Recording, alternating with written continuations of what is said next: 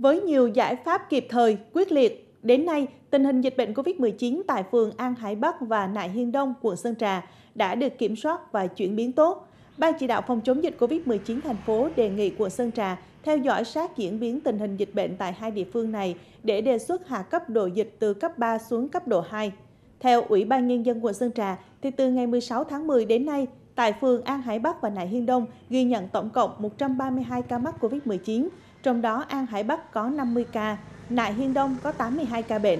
Trước diễn biến phức tạp của dịch bệnh, nhất là ghi nhận nhiều ca cộng đồng, từ ngày 14 tháng 11, thành phố đã nâng cấp độ dịch từ cấp độ 2 lên cấp độ 3 với hai địa phương này để kiểm soát ngăn chặn dịch lây lan.